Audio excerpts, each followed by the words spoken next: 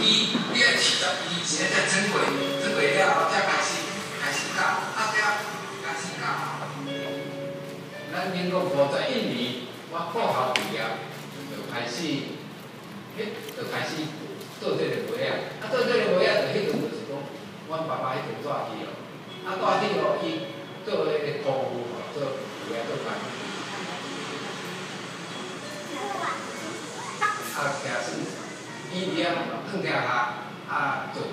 做到骹八遐大字，啊我逐工咧洗骹，啊洗骹咧，看伊个骹安尼，迄阵逐工有个洗骹啊，着条子，啊看伊安尼，拢是后边骹骹，啊骹白，啊背遐高，骹背遐高，啊到尾啊无过来做电鞋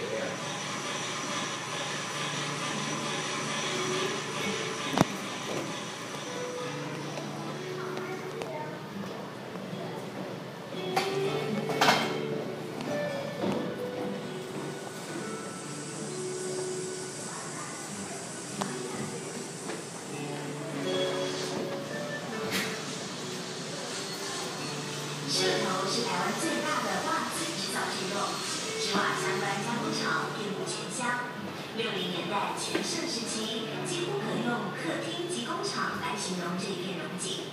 超过一半的居民从事织袜行业。当时全台湾的袜子十双就有七双来自社头，也造就了社头乡芭乐多、袜子多、董事长多的美誉。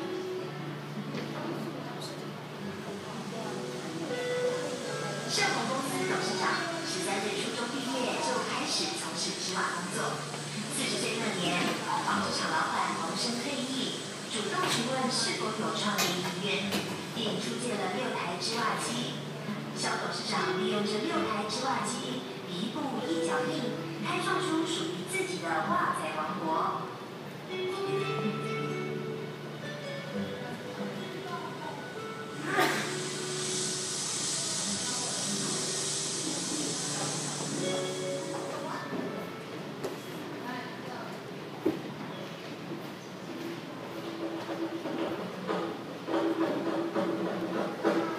十年来，台湾织袜产业经历工厂外移、低价竞争等危机，面对产业结构与市场的转变，袜仔王仍坚持跟留台湾，并借着强化研发能力，以客制化服务提升市场竞争力。